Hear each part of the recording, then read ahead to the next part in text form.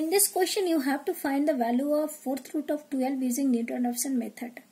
So let x equals to fourth root of 12 that is 12 to the power 1 by 4 then x to the power 4 is 12 x to the power 4 minus 12 equals to 0 this is the function fx find the derivative of fx that is f dash x 4x cube.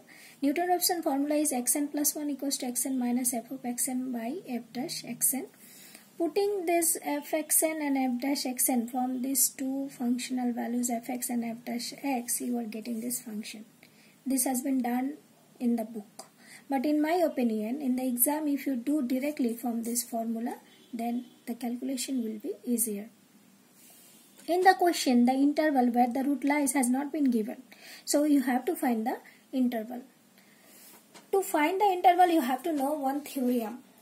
The theorem states that that if a function y equals to fx defined in an interval and in that interval say at a and b uh, then at a and b if the functional values are of opposite signs then there exists one root in between a and B.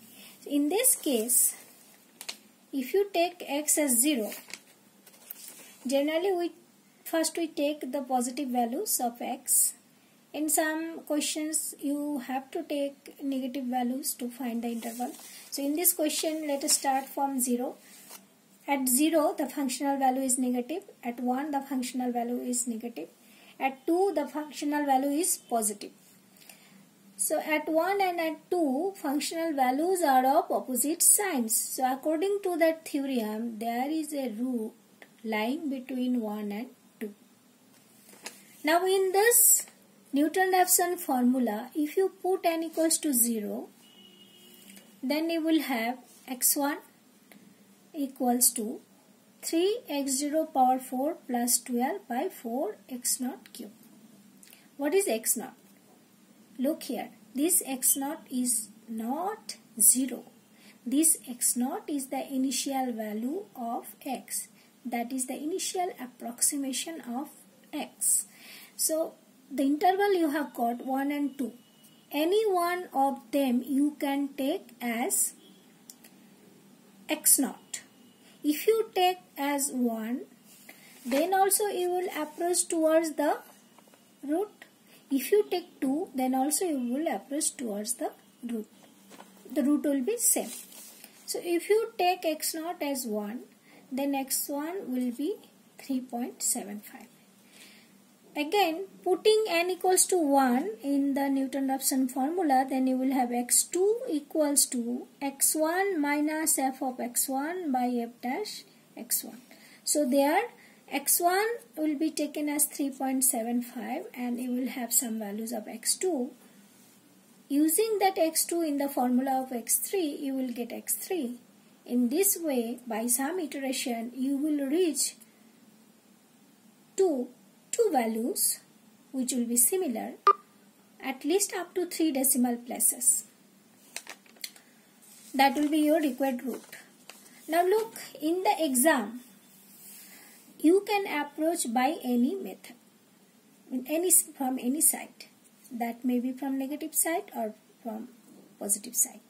So here uh, you look if you take x naught as 1 then you are getting x1 equals to x0 minus f of x0 by f dash x0 there you put x naught as 1 and you will have 15 by 4 what I have shown here 3.3.75 now if you approach from 2 from 2 uh, in in the same formula then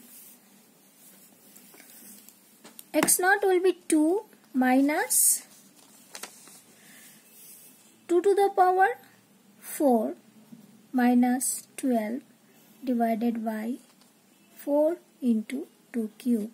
That is 2 minus 16 minus 12 by 4 into 8 that is 2 minus 4 by 4 into 8 cancel.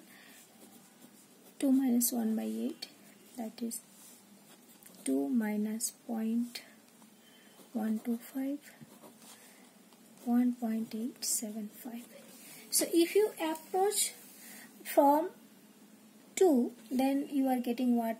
0.875 and if you approach from 1 you are getting 3.75 So similarly you can find x2 that is x1 minus f of x1 divided by f dash x1. So x1 is now 3.75 minus 3.75 minus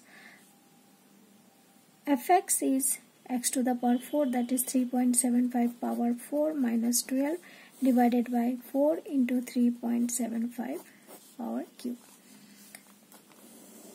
So you will get some value of x2. Similarly, if you put here, then you will get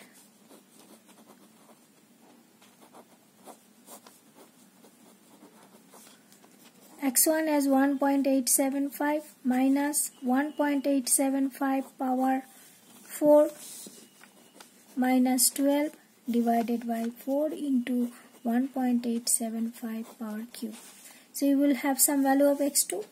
Then you can find x3 in both the cases. In this way you approach. Then after some iteration you will have two similar values up to at least three decimal places. That will be your required root.